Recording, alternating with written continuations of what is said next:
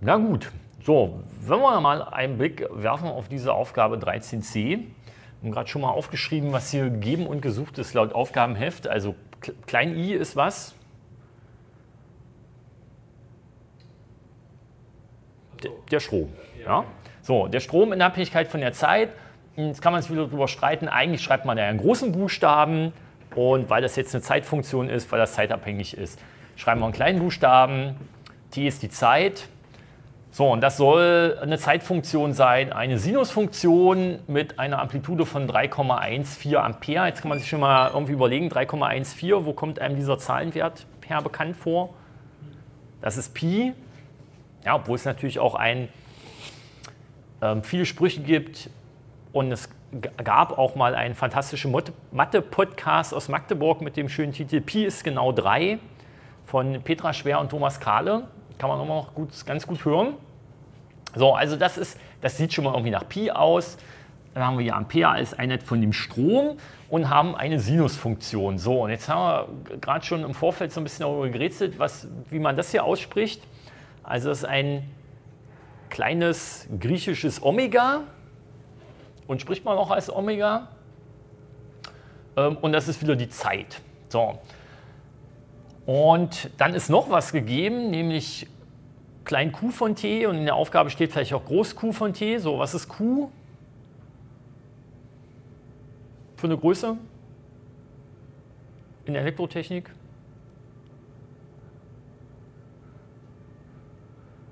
Oh, was, ist das, was ist das Themengebiet der heutigen Aufgaben oder der, dieser Aufgabenwoche so thematisch? Wenn man in die Tabelle reinguckt, die in unserem E-Learning-Kurs drin steht, dann ist das und Strom, Ladung. Ja, so, okay, Ladung. Und da kann man sich jetzt drüber streiten, schreibt man ein großes Q hin, schreibt man ein kleines Q hin. Ähm, ich habe jetzt mal ein kleines geschrieben, weil das ja auch eine Zeitfunktion ist, die von der Zeit abhängt. So, und das ist eine Kosinusfunktion, die hat minus 10 Milliampere-Sekunden als Amplitude und hat noch so einen Offset von nochmal 10 Milliampere-Sekunden. Und vielleicht zeichnen wir die auch gleich noch. Das, was man jetzt hier auf jeden Fall ausrechnen soll und bestimmen soll in dieser Aufgabe, ist dieses Omega hier. Ja? Also ich schreibe mal hier irgendwie kurz drauf. Das nennt sich Omega. Und Omega ist die sogenannte Kreisfrequenz.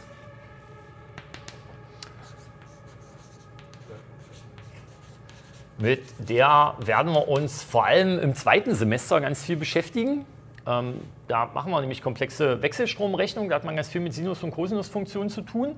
So, und dieses Omega ergibt sich so aus der normalen Frequenz, das steht auch in der Aufgabe irgendwie drin, ne, als Formel als 2 mal Pi mal f.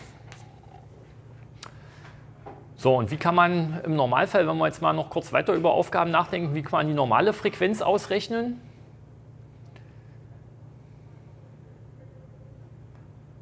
Aus, aus, ähm, also ich habe eine Sinusfunktion, ich habe eine Schwingung. Wie ergibt sich, wie kann ich von einer Schwingung die Frequenz ausrechnen? Oder mal anders anfangen noch. Ähm, was hat diese Frequenz für eine Einheit?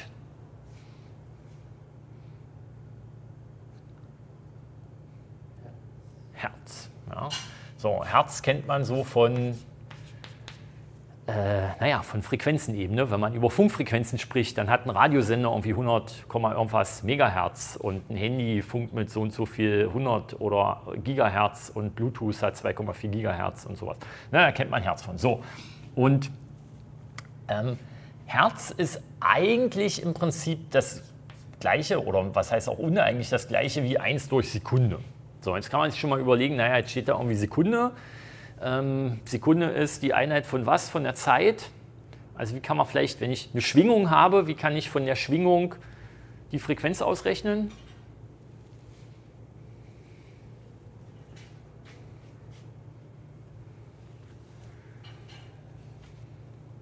Wie kann man von einer Schwingung der, die Frequenz ausrechnen? Irgendwas, irgendwas schwingt hin und her. Ich habe ein Pendel, ja, ich habe ja hier so ein noch einen guten Polylux zu stehen oder wie man sagen würde, ein Overhead-Projektor, wo ein Kabel dran ist. In dem Kabel ist auch ein Knoten drin. Kann man erstmal das alte Spiel Piratenbärte entwirren spielen. So, und jetzt habe ich ein, ein Kabel und da ist ein Stecker dran und jetzt kann ich daraus so ein bisschen so ein Pendel bauen und kann das hin und her schwingen lassen. So, und wie kann ich jetzt von diesem, von diesem Pendel, von dieser Schwingung, ja, das hat jetzt irgendwie eine Frequenz, wie kann ich von dem die Frequenz bestimmen?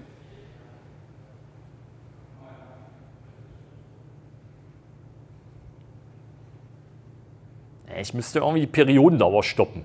Ja? Äh, Frequenz, Frequenz ist Herz als Einheit ist 1 durch Sekunde. Wenn ich 1 durch die Periodendauer rechne, dann kommt eine Frequenz raus. Ja, und so. Und ich meine, wenn ich jetzt das ungefähr, äh, weiß ich, einen Meter lang mache oder sowas, mit ein bisschen, ähm, könnte das genau in einem eine Sekunde Rhythmus schwingen. So. Ja, wo bin ich mir jetzt nicht so sicher, ob das nicht dann die halbe Periodendauer ist, egal. Aber ich meine, ich könnte auf jeden Fall die Periodendauer messen von einer, bis es wieder zurückgeschwungen ist und 1 durch die Periodendauer ergibt die Frequenz von, von irgendwas, was schwingt, von irgendeinem Pendel zum Beispiel. So, und wenn ich dann die Frequenz mal 2Pi rechne, dann kommt diese Kreisfrequenz raus, dieses Omega, was hier in der Sinus- und Cosinusfunktion drin steht. So, und dieses Omega, ja, ähm, ergibt sich einfach aus 2 mal Pi mal f. Wenn ich da jetzt eine Frequenz in Hertz einsetze, ah, und da kommen die anderen Studierenden, die ihr, ihre Anwesenheit vorhin angekündigt haben. Ähm, also wenn ich das hier in Hertz rechne mal 2 mal Pi, bringt ja 2 mal Pi keine weitere Einheit mit dazu. Ja? Also sollte das Omega was für eine Einheit haben? Ich, ich, ich, nehme einfach was in Hertz und rechne das mal 2 und mal Pi. Was sollte denn für das hier für eine Einheit rauskommen?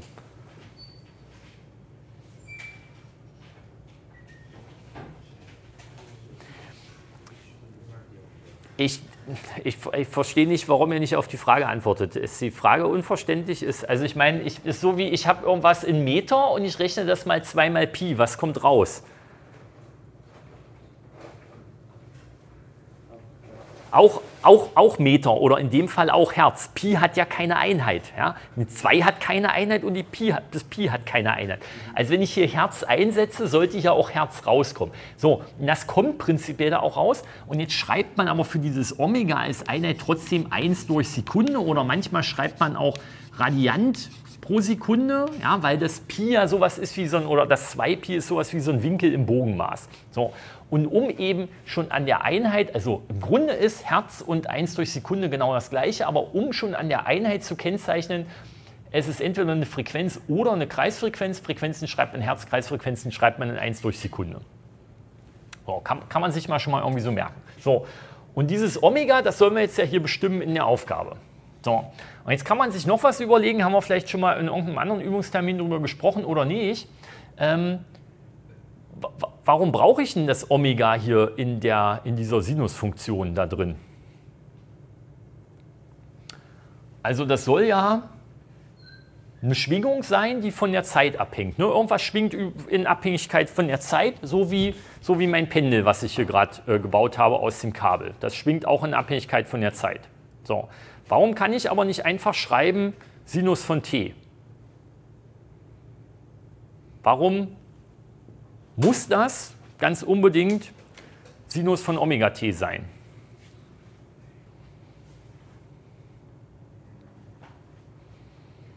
Und dafür gibt es mindestens zwei gute Gründe, die mir so einfallen.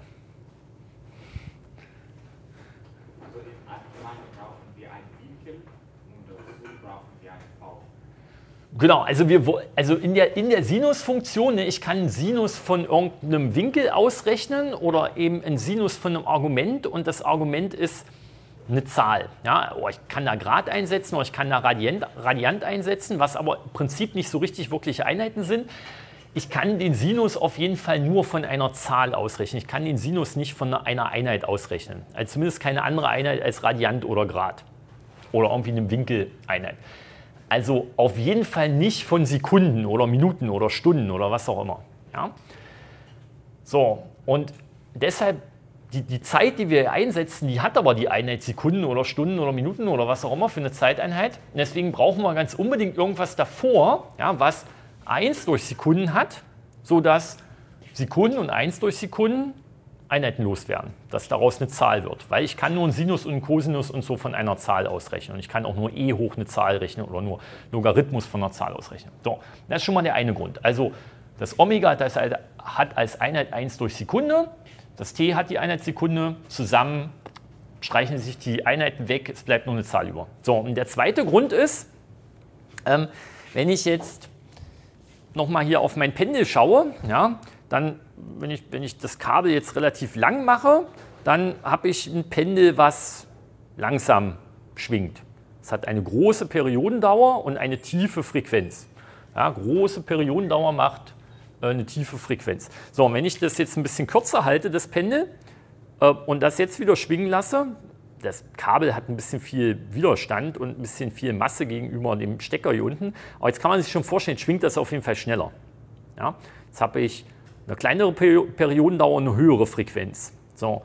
Und das ist auch genau das, was ähm, ja, so ein, also ne, die Frequenz, die, die, ne, der, der Strom, unsere Schwingung und die Ladung hier, die hängen von der Zeit ab. Und wenn ich einen Faktor direkt vor das Argument der Funktion schreibe, was macht das mit der Funktion grafisch gesehen?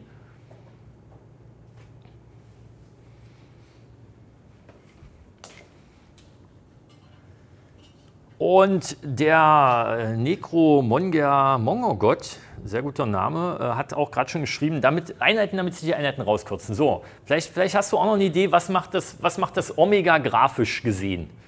in, der, ähm, in dieser Funktion? Was macht, ein, was macht eine Zahl, die ich direkt vor das Argument schreibe?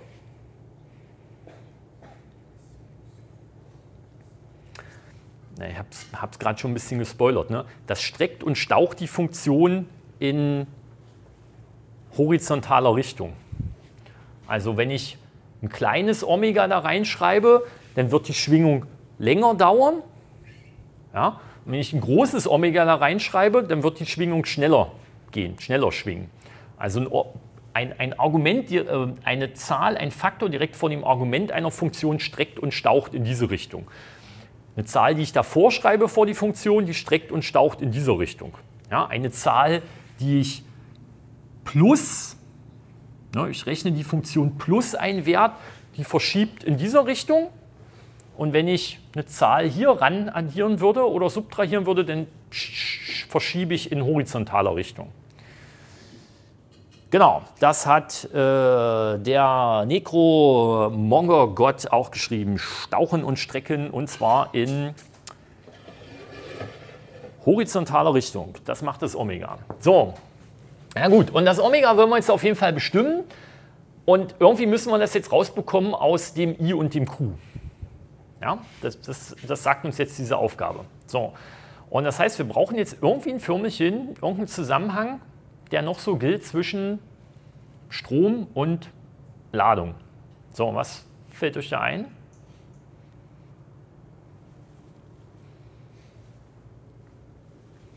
Also wenn wir irgendwas hätten, womit wir keine Ahnung, aus der Ladung den Strom ausrechnen und aus dem Strom die Ladung ausrechnen,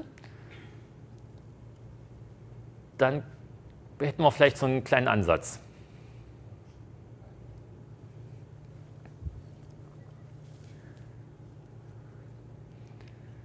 So, tja, kann ich, wenn ich, nur unabhängig von den Formeln, die denken wir uns jetzt mal weg, könnte ich irgendwie aus der Ladung den Strom ausrechnen? Oder kann ich andersrum aus dem Strom die Ladung ausrechnen? Wie, wie, also in, in die Richtung würde ich behaupten, es ist einfacher.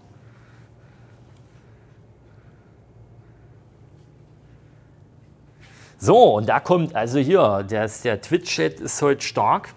Ähm, hier kommt die rettende Idee, die da lautet, also Strom, ja, haben wir dann, wenn die Ladung sich über der Zeit ändert.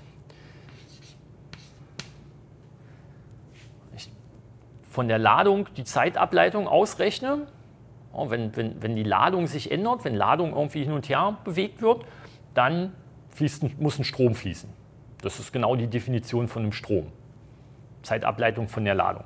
Wir könnten jetzt andersrum auch hm, den, die, die, die, Ladung aus dem Strom ausrechnen durch Integration, aber weiß nicht, machen wir vielleicht bei der nächsten Aufgabe. Ähm, das ist hier auch eine Möglichkeit, das zu rechnen, aber eher die kompliziertere von hinten ein bisschen durch die Brust ins Auge, deswegen machen wir die mal nicht. So, also jetzt können wir ja den ganzen Spaß hier einsetzen, jetzt können wir die Ladung hier einsetzen, ja? Ähm, leiten die ab dann müsste wieder im Prinzip irgendwie das hier rauskommen und dann können wir das hoffentlich vergleichen und können daraus die mh, hm, Kreisfrequenz bestimmen. So. Also das heißt, wir wollen jetzt diese Funktion hier nehmen und wollen diese Funktion nach der Zeit ableiten. So, jetzt ist die Frage, wie machen wir das?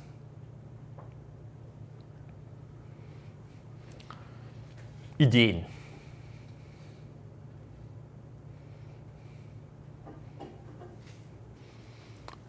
So, und wir können, wie so immer, mit einem scharfen mathematischen Blick hier drauf schauen und können erstmal feststellen, was ist denn die, was ist denn sozusagen, wenn ich das ausrechnen würde, was ist denn die letzte Rechenoperation, die man rechnet, wenn man das ausrechnet?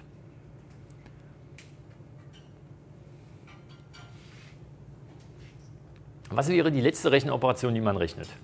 Ein Plus. Ja? Weil ich würde erst Punktrechnung vor Strichrechnung. Ich würde erst irgendwie das ausrechnen. Also ich würde natürlich erstmal Omega mal T rechnen, also in die Kosinusfunktion einsetzen, das mit dem multiplizieren und ganz zum Schluss Plus rechnen. So, also so von der obersten Struktur ja, ist das eine Summe. Eine Summe, die aus zwei Summanden besteht, dem ersten Summanden und dem zweiten Summanden. So, und jetzt wollen wir diese Summe ableiten, ja, nämlich hier vorne mit der Ableitung, damit der Strom rauskommt. So, und wenn man jetzt eine Summe ableitet, gibt es zum Glück eine Summenregel für die Ableitung und die Summenregel für die Ableitung sagt einem was?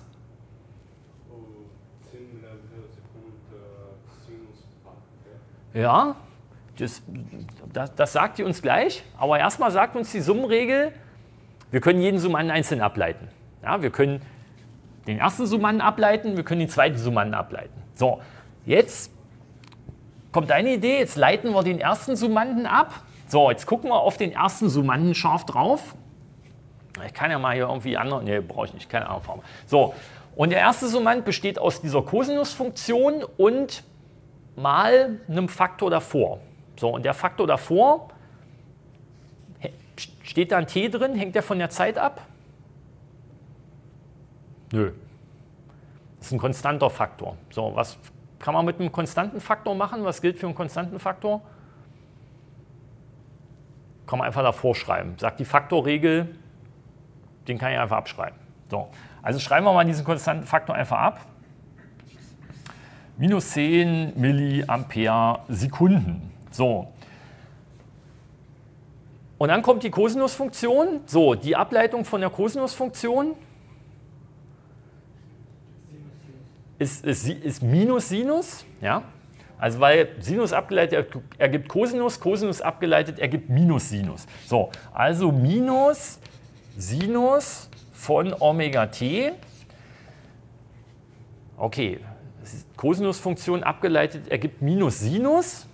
So, was haben wir jetzt aber noch? Was müssen wir noch beachten?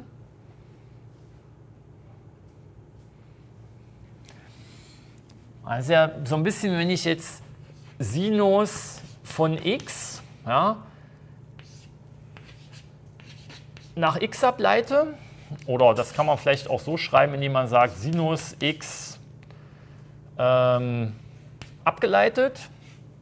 So, ähm, achso, haben wir eigentlich mit dem Cosinus angefangen? Egal. Sinus abgeleitet ergibt Cosinus, haben wir gerade diskutiert. So, und wenn ich jetzt aber hätte die, die Ableitung von Sinus von 2 mal x, jetzt steht vor dem Argument, nachdem ich ableite, noch was davor, so wie hier. Ja, ich leite nach t ab, aber vor dem t steht noch ein Omega. Was ist denn die Ableitung von Sinus von 2 mal x? Nee, nicht so richtig. Genau, also die Sinusfunktion abgeleitet ergibt einen Cosinus, und zwar den Cosinus von dem gleichen Argument. Und dann muss ich noch diese innere Funktion ableiten nach x. Und die Ableitung von 2x, wenn ich d von 2x nach dt rechne oder eben 2x abgeleitet, kommt da 2 raus. Und das ist genau die 2, die uns da noch fehlt. Äußere Ableitung mal innere Ableitung. Ja. Weil das ist eine verkettete Funktion. Ja, die hat eine äußere Funktion, die hat eine innere Funktion. Und die Ableitungs-, die Kettenregel für verkettete Funktionen sagt uns äußere Ableitung mal innere Ableitung. So, und das heißt, hier müssen wir nochmal Omega rechnen. Ja, weil wir wollen diese Funktion ableiten, Ableitung der äußeren Funktion, Cosinus abgeleitet minus Sinus von dem gleichen Argument, mal die innere Ableitung ist das Omega. So, jetzt haben wir diesen ersten Summanden abgeleitet. Ja, und jetzt sagt uns die Summenregel, okay, wir müssen jetzt noch den zweiten Summanden ableiten. So, und was kommt bei der Ableitung des zweiten Summanden raus? Einfach 0, weil der zweite Summand ist eine Konstante, die nicht von t abhängt und die Ableitung von einer Konstante ist 0. Die schreibe ich jetzt mal ganz explizit mit hin. Okay, so, und dann können wir das jetzt hier einfach ein bisschen hübsch machen ja, und können sagen, okay, Minus und Minus ist Plus. Naja, und dann sind das eben äh, 10 Milliampere Sekunden mal Omega mal Sinus von Omega t. So, das ist jetzt für den Strom rausgekommen, wenn wir die Ladung nach der Zeit abgeleitet haben. Ja, und jetzt steht ja hier oben, der Strom soll auch sein 3,14 Ampere mal Sinus Omega t. Also ne, definitionsgemäß laut Aufgabe soll das auch sein 3,14 Ampere mal Sinus Omega t.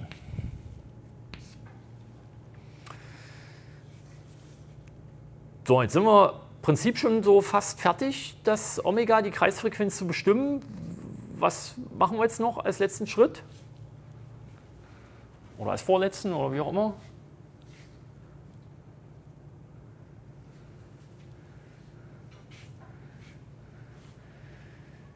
wenn der Ausdruck genauso groß sein soll wie der Ausdruck, ja, und wir sagen, okay, das Sinus Omega t ist ja schon mal genau das gleiche wie das Sinus Omega t hier, ja, dann muss ja das, was davor steht als Faktor, genauso groß sein wie das, was hier drüben davor steht als Faktor.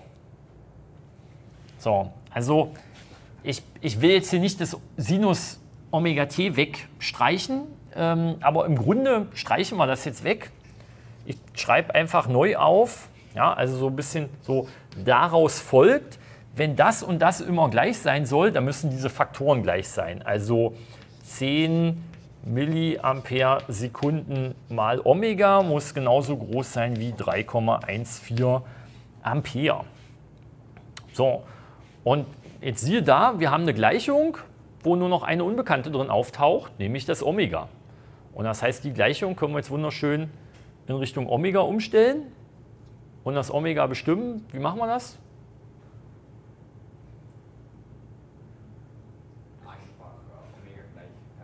Genau, also durch das hier teilen. Ja, wir teilen durch das, dann geht das von der Seite weg, durch 10 Milliampere Sekunden teilen. Und dann bleibt da über Omega sind 3,14 Ampere geteilt durch 10 Milliampere Sekunden. So, und dann kürzen sich natürlich Ampere gegen Ampere. Die hätten wir vielleicht auch schon vorher kürzen können, vollkommen egal. So, und 10 Milli, äh, Milli kann man auch schreiben als was?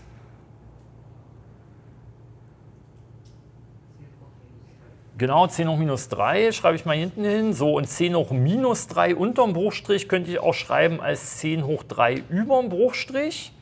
Ja, und wenn ich 10 hoch 3 durch 10 kürze, dann bleibt hier oben eine 10 hoch 2 über. So, und 10 hoch 2 sind 100 und 100 mal 3,14 sind 314. So, also kommt da raus 314 ähm, und die Einheit, die uns hier verblieben ist, und da sehen wir, das ist auch die, die sinnvolle Einheit, die hier rauskommen sollte für das Ergebnis für eine Kreisfrequenz oder eben eine Frequenz, sind, ist 1 durch Sekunde. So, also 314 1 durch Sekunde. Und wenn wir wollten, weiß nicht, steht das in der Aufgabe drin, dass man jetzt auch noch die, die richtige, in Anführungszeichen, Frequenz ausrechnen soll, das, das F? Vielleicht, vielleicht auch nicht. Das könnten wir jetzt noch machen, wenn wir wollten. Ähm, und dann sollte da ja, eben für die Frequenz rauskommen. Ja, wenn Omega 2 mal Pi mal F ist, kriege ich, krieg ich die Frequenz raus, indem ich was mache? Wie, wie, wie kann ich die Gleichung hin nach F umstellen? Also einfach äh, Omega durch 2 Genau, Omega durch 2 Pi teilen. So, dann steht da da Omega durch 2 Pi. Dann kann ich das Omega einsetzen, das waren 314 ähm, 1 durch Sekunde, steht hier unter dem Bruchstrich, bleibt hier immer noch eine Sekunde. So, und ja, hier unten steht 2 mal Pi. So, und die 314 könnte ich vielleicht auch als was schreiben, um das mit dem Pi irgendwie wegzukürzen? Pi mal 100, ja? So, also 314 wäre so ziemlich ungefähr dasselbe wie Pi mal 100. Dann kann ich Pi und Pi kürzen und dann bleibt 50 durch 2 über. Äh, 100 durch 2, ja, das sind 50. Das ist immer Textbildschere. So, ähm, 50 und jetzt schreibe ich dafür als Einheit Hertz hin. So, und woher kennt man die Frequenz 50 Hertz? Was hat 50 Hertz als Frequenz? Unsere Netzspannung, ja, die aus der Steckdose kommt. Also ähm, im Prinzip wäre das jetzt so was, wir, wir haben irgendwas, was mit 3,14 Ampere an einer Steckdose mit Netzspannung betrieben wird und dann schiebe ich in das Gerät ähm, im Prinzip diese Ladung rein und raus. So, und das hat der Necro-Monger-Gott auch geschrieben, Sinus Omega T rauskürzen, dann durch 10 mA äh, teilen. Genau das haben wir jetzt hier gemacht, haben diese Kreisfrequenz, Frequenz ausgerechnet. Sehr gut. So, ähm, gibt es bis dahin erstmal Fragen? Ja, also das wäre jetzt so der straightforward Lösungsweg dieser Aufgabe. Man könnte das jetzt auch andersrum machen. Wir könnten jetzt auch praktisch den Strom nehmen, den Strom integrieren, aus dem Strom durch Integration die Ladung ausrechnen und das dann mit dieser Ladung hier vergleichen. Und dann sollte genau das gleiche passieren, dass da auch eine Formel rauskommt, wo irgendwie das Omega rauspurzelt. So, und vom Verständnis fände ich es jetzt ja gar nicht so verkehrt, wenn wir jetzt nochmal versuchen, ähm, und dafür mache ich hier drüben mal ein bisschen, ein bisschen Platz, mache mal hier die, die, unsere Einheitenbetrachtung und Frequenzbetrachtung weg. Ähm, wenn wir jetzt an der Stelle versuchen, das nochmal zu zeichnen, um so eine Idee zu bekommen, dass das so mit der Ableitung und mit dem Zusammenhang zwischen Ladung und Strom auch so so, so passt und funktioniert. Ähm, in der Aufgabe steht nicht explizit drin, dass man das zeichnen soll, richtig? Da steht einfach nur, man soll das Omega ausrechnen. Ja? Ja, gut, dann zeichnen wir es jetzt trotzdem mal. Ähm, dümmer werden wir dabei auf jeden Fall nicht. Und ich mal jetzt mal gleich zwei Diagramme, nämlich ein Diagramm ähm, oben für, so wie es hier auch aufgeschrieben ist, für den Strom. Und weil der Strom einer Sinusfunktion gehorcht, was hat die Sinusfunktion für einen Wertebereich? Was kann die für Werte annehmen? Also wenn ich hier irgendwas einsetze und ausrechne, wie, wie klein und groß kann so eine Sinusfunktion werden maximal,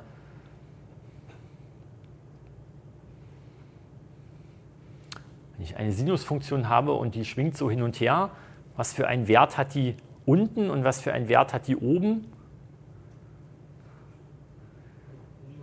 Minus 1 und 1, genau, sehr richtig. So, und das heißt, ja, also ich, ich muss irgendwie was haben, was, das ist ein bisschen schief geworden, ne, was, wo ich hochgehen kann und runtergehen kann. So, und das, also die Sinusfunktion hat einen Wertebereich von minus 1 bis 1 und das multipliziere ich jetzt ja mit diesen 3,14 Ampere. Die schreibe ich jetzt irgendwo hier hin. Also hier wären plus 3,14 und hier unten wären irgendwie minus minus 3,14 und dazwischen schwingt jetzt diese Sinusfunktion. Und ich mache mir mal hier so ein paar Striche dran und sage mal, das soll Hälfte der Periodendauer sein, hier so ungefähr die ganze Periodendauer sein. So, und hier ist das t, die Zeitachse, ja, und hier ist der Strom I von t in Ampere. So, wenn ich jetzt eine Sinusfunktion habe, dann ähm, sieht die so aus, die geht so hoch, hat hier ihr Maximum. Äh, ne, halt, ich wollte das ein bisschen, das war jetzt ungünstig, ein bisschen schneller zeichnen, das kriege ich ja gar nicht ganz drauf.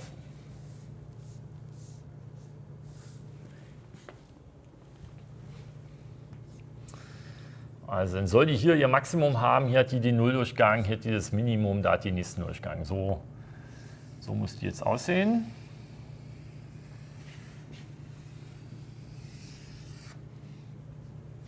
Ja. Also das wäre jetzt genau diese Sinusfunktion.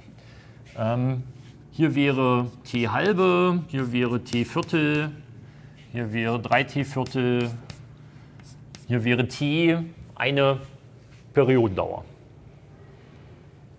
So wie wir hier Periodendauer hingeschrieben haben. Und daraus ergibt sich eben die Frequenz. So, und jetzt male ich noch ein zweites Diagramm. Und das zweite Diagramm mache ich mal ein bisschen so, dass ich oben mehr Platz habe als unten. Das wird genauso die Zeitachse. Das wird jetzt das Q von t. Ich nehme wieder ein kleines Q, weil das auch zeitabhängig ist und versuche hier mal ungefähr so die gleiche äh, Zeiteinteilung hinzubekommen. Also hier soll auch wieder t sein, hier soll t halbe sein und so weiter. So, und ja, jetzt ist äh, ein bisschen die Frage, also ja, wie sieht, wie sieht diese Funktion aus oder wie sieht die ganze aus, wie, wie, wie kann ich das jetzt irgendwie zeichnen? So, also das ist eine Sinusfunktion. Wie sieht eine Kosinusfunktion aus?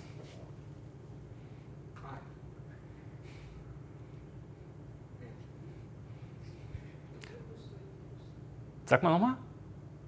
Nee. Womit, mit, mit, mit was für einem Wert startet die Kosinusfunktion eigentlich? Wenn ich einen Kosinus von 0 ausrechne, was ist der Kosinus von 0? 1. Ja? Also die Kosinusfunktion startet eigentlich hier. Startet oben und geht dann runter. So, jetzt habe ich ja nicht, ich habe nicht eine, also ich nehme mal nochmal irgendwie eine Farbe, die jetzt nicht so, nicht so grell ist. Also wenn ich einfach nur eine Kosinusfunktion ausrechne, wenn ich nur das hier ausrechne, ja, dann sollte das im Prinzip so aussehen. Also Kosinusfunktion, hier ist der Nulldurchgang, hier ist das Minimum, hier ist der nächste Nulldurchgang und hier ist wieder ein Maximum und hier ist wieder ein Nulldurchgang, hier ist das nächste Minimum. So, so sollte eine Kosinusfunktion aussehen. So, jetzt habe ich aber ja nicht Cosinus, sondern ich habe Minus Cosinus. So, was macht das Minus Cosinus? Und das war hier unsere blaue oben, äh, grüne war die Sinusfunktion. So, was, was macht das Minus mit der Kosinusfunktion? Wenn ich ein Minus vor eine... Naja, verschieben nicht so richtig. Verschieben macht das hier hinten nachher, wenn ich, wenn ich Plus rechne. Was macht das Minus davor?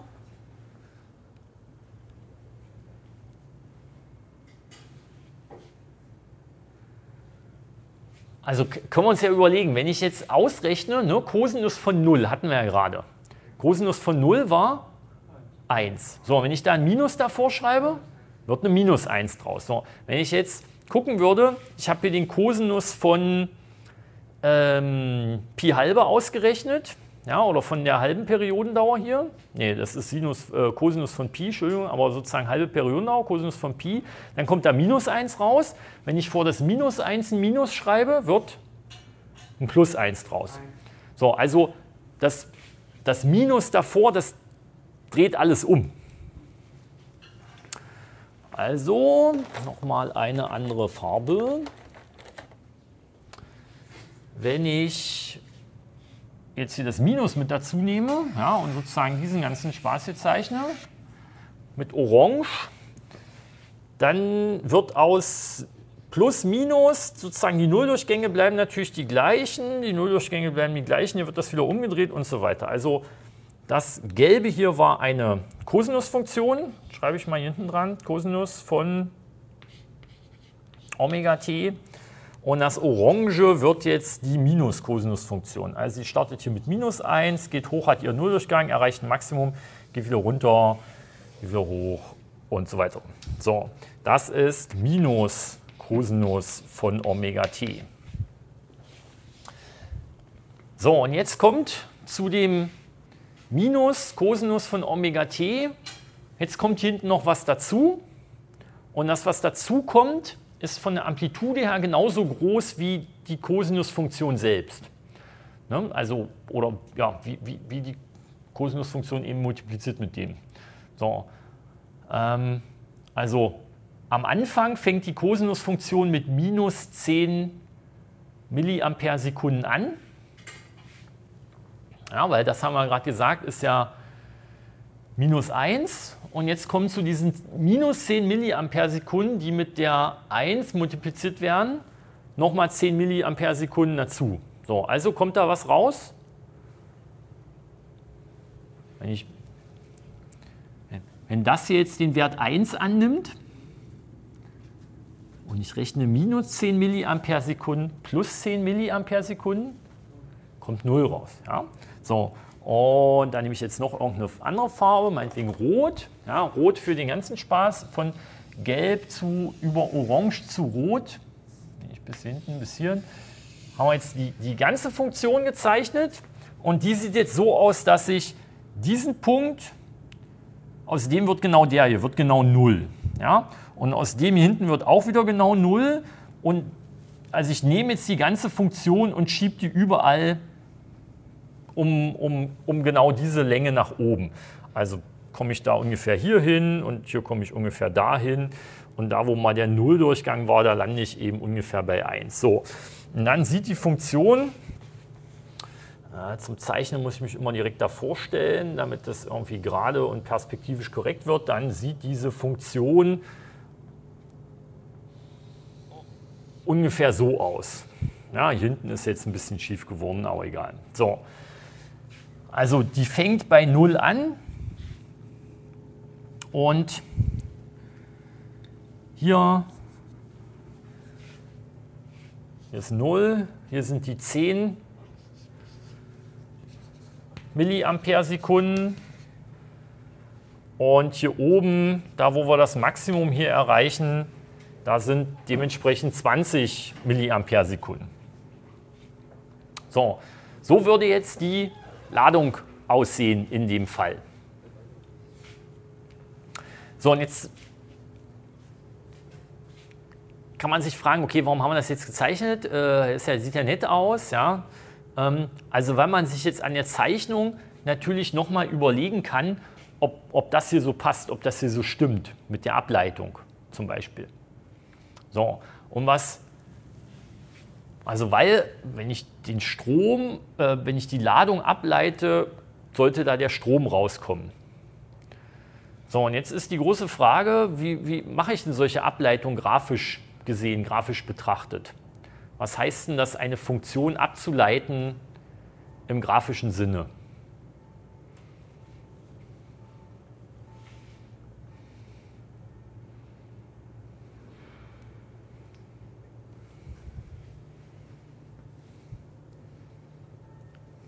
Vielleicht gibt es hier eine, eine Idee im Chat.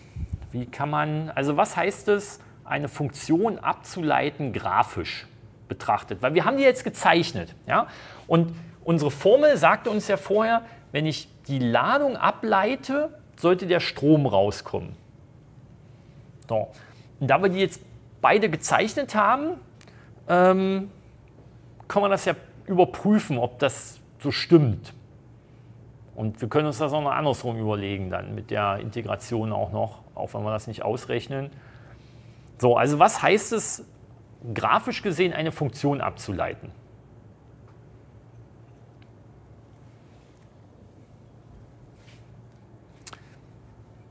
Ja, das, was dahinter steckt, ist, ich gucke mir den Anstieg einer Funktion an. Ja, also bei der, bei der Ableitung haben wir gesagt, es geht ja darum, wie ändert sich was? Wie ändert sich, wenn die Ladung sich ändert, dann fließt ein Strom. Wenn die Ladung sich stärker ändert, fließt mehr Strom. Wenn die Ladung sich gar nicht ändert, wenn die konstant bleibt, ja, hat hier hinten irgendwie, Ableitung einer Konstante ist null. Wenn die Ladung konstant bleibt, fließt kein Strom. Also es geht um Änderung, es geht um Anstieg. So, und jetzt äh, nehme ich hier mein, mein Tablet als, äh, als Anstiegsmarker. Ja. So, also gucken wir mal hier vorne, Anstieg, ich halte das Tablet als, als Tangente, als Anstieg in die Kurve, an die Kurve ran. So, ähm, halt, nee, wir müssen ja von hier unten ausgehen. Ne? Wir, nehmen die, wir nehmen die Ladung, wir leiten die Ladung ab, wollen den Strom rausbekommen. Also ich muss hier unten anfangen. Das ist, die rote Kurve ist unsere Ladungskurve. So, wie groß ist hier der Anstieg? Null. Kann ich gucken? Ist hier oben auch tatsächlich null. So, jetzt fahre ich hier die Kurve lang. Was passiert mit dem Anstieg?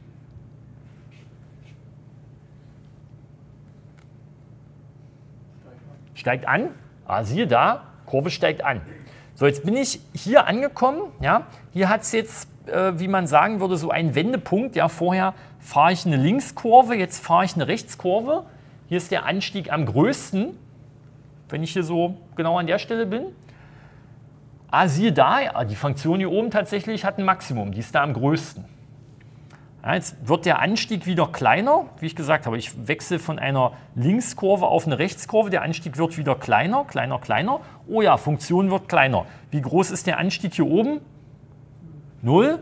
Oh, siehe da, Funktion ist 0. Ja? So, dann geht es hier so weiter. Anstieg wird jetzt negativ, also steigt betragsmäßig an, wird aber negativ. Ja, okay, Betrag wird negativ. Dann habe ich hier ungefähr den nächsten Wendepunkt. Hier wechsle ich wieder von einer Linkskurve auf eine Rechtskurve.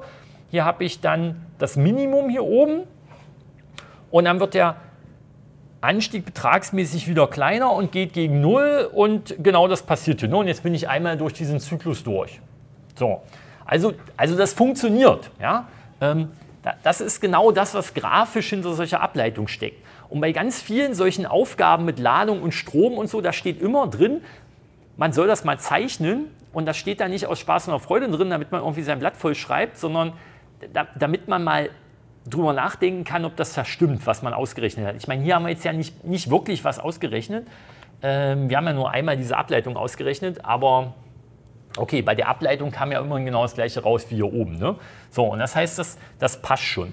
So, jetzt könnte man das eben auch andersrum machen und könnte sagen, ich nehme den Strom und integriere den. Und wenn ich den Strom integriere über der Zeit, sollte die Ladung bei rauskommen. Ja? So, und integrieren geht eben immer, nehme ich wieder mein Tablet, ähm, integrieren geht, indem ich mir, ja, oder wie, wie geht grafisch integrieren?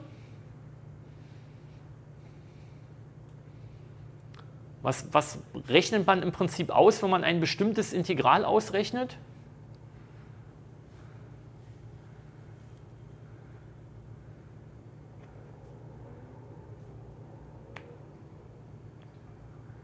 Was, wie, wie kann man ein Integral grafisch bestimmen? Genau, von einem, also meinetwegen, keine Ahnung, wenn, wenn wir von hier bis hier integrieren oder von hier bis zu irgendeinem Punkt integrieren, was muss ich dann im Endeffekt bestimmen oder was muss ich mir anschauen? Was ergibt das Integral über eine Funktion? Den Flächeninhalt unter der Kurve. Genau. Ja? So, und das heißt, ich nehme jetzt, also ich fange hier vorne an. Ähm, es geht um den Flächeninhalt zwischen der Kurve, der x-Achse und praktisch einer vertikalen Linie, die ich jetzt hier mit meinem Tablet mache. So. Und also, ne, die, ich, hier kommt jetzt so immer Fläche, Fläche dazu. So muss ich das jetzt mir vorstellen. Ich fahre hier so drüber und gucke mir den Flächeninhalt an. So. Wie groß ist der Flächeninhalt hier am Anfang?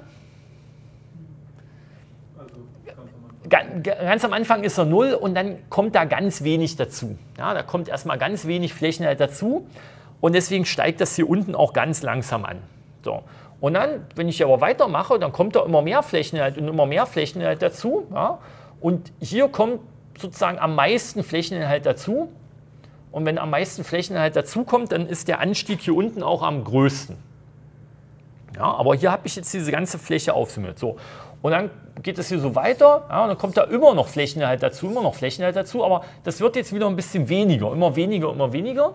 Und deswegen wird der Anstieg hier unten auch eben flacher und flacher und flacher. Und spätestens, wenn ich hier an dem Punkt angekommen bin, ja, dann kommt gar keine Fläche mehr dazu.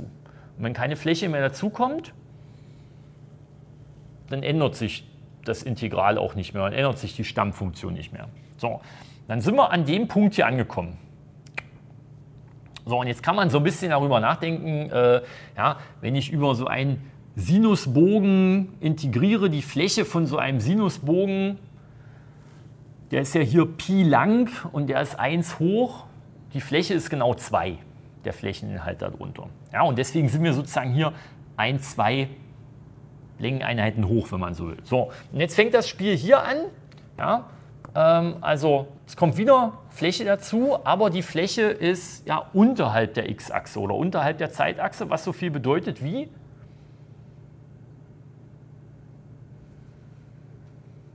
wenn ich Fläche, also die Fläche hier zählte positiv und die Fläche zählt negativ. Also die, die ziehe ich ab. Ja? So, und deshalb, jetzt ziehe ich von der Funktion hier unten immer wieder ein bisschen was ab. Erstmal nur wenig, ja, und dann hier, hier ganz viel. Ja, hier hat die sozusagen den meisten Flächenverlust, wenn man so will. Deswegen sinkt die ja am steilsten ab. Und hier zum Schluss habe ich dann wieder nur ganz wenig Fläche, wenig Fläche, wenig Fläche, die ich abziehe. Und dann wird der Anstieg, geht der Anstieg hier unten wieder gegen Null.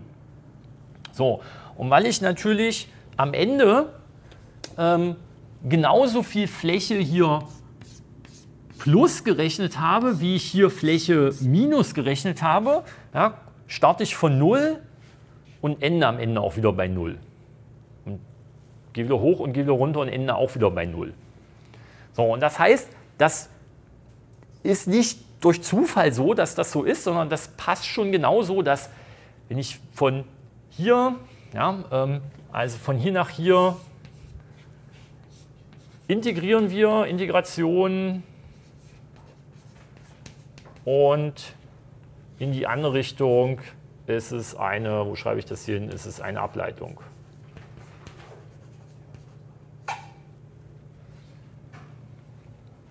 So, und das ist, kann man sich für ganz viele Aufgaben mit so Ladung und Strom und so, ist es immer sinnvoll, das mal zu zeichnen. Meistens steht es in der Aufgabe drin, dass man das mal zeichnen soll und wirklich genauso in diesem Sinne darüber nachdenken. Ja? So, und ähm, ja, was, was noch wichtig ist, das wird jetzt in der Lösung hier gar nicht so explizit, ähm, weil wir ja sowieso schon Sinus- und Cosinus-Funktionen haben, die immer so harmonische Funktionen sind, ja, die, nicht, die keine Sprünge drin haben und sowas. Also was auch immer man rechnet und was auch immer man macht und was auch immer man zeichnet, das, was die Ladungskurve am Ende niemals machen darf, ist irgendwie springen. Weil das funktioniert nicht. Ja? Ähm, die Ladung, also physikalisch gesehen, die Ladung ist eine Erhaltungsgröße. Ja? Ich kann nur Ladung von einem Punkt an einen anderen Punkt bewegen. Da muss aber ein Strom fließen.